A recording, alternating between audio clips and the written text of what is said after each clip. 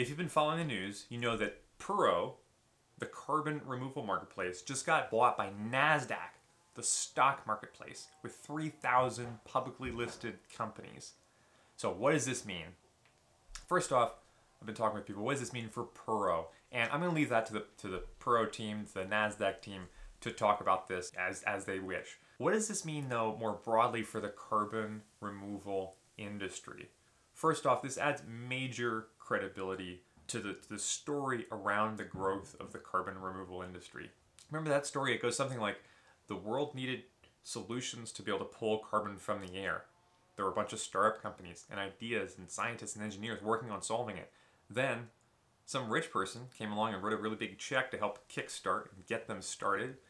Then this grew into real solutions and greater scale then there was some sort of marketplace or infrastructure where thousands of these companies and trillions of tons of carbon were removed from the atmosphere. That story starting to look like NASDAQ is going to have a big role to play in that kind of marketplace part of the story. Looking ahead, in the same way that NASDAQ has 3,097 publicly listed companies, what if NASDAQ Carbon of the future has 3,000 carbon removal suppliers. We're nowhere near that right now. If you've been following the story with Stripe uh, writing checks to up and coming startup companies, you've been uh, following the story of Shopify helping kickstart carbon removal companies. What they're saying is there's a there's a lack of supply. It means that there's not enough new companies pulling carbon from the sky. And I imagine pretty soon we'll start to hear some of that similar story from NASDAQ because now they're all in this world where they're looking for suppliers of carbon removal and they're looking to matchmake between suppliers and buyers. So how do we get from here to there? How do we get from having potentially dozens of companies right now that are pulling carbon from the air? How do we get to the point where we're at 3,000 for this futuristic NASDAQ carbon? Well, first off, we need a lot more companies. And as part of AirMiners Launchpad, we're working on helping new companies get started in carbon removal. And with the first batch, working with about 10 early stage teams.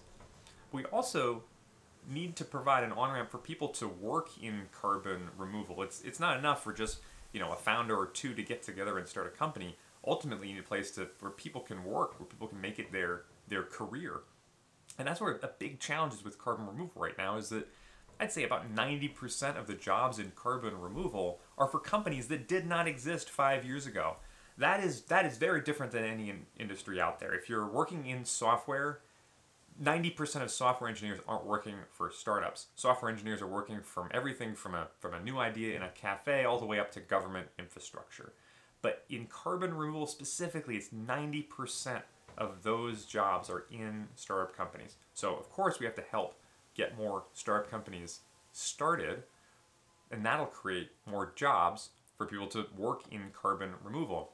But there's actually a good number of jobs right now, uh, and so we're hosting a career event in a couple weeks uh, for carbon removal careers, and you can come and uh, meet other people that are hiring for carbon removal jobs, or you can meet other people that are uh, looking to work for your company.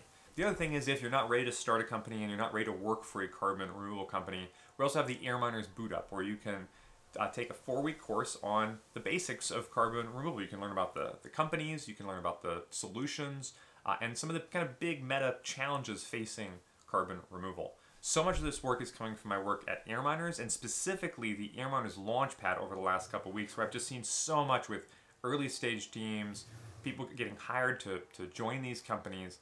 And so for the next couple weeks, I'm going to continue speaking about what I'm seeing from the startup level in carbon removal. Stay tuned, I'll share more of what it's like to start a carbon removal company and pass this on to anybody you know that's starting a company or interested in starting a company in carbon removal.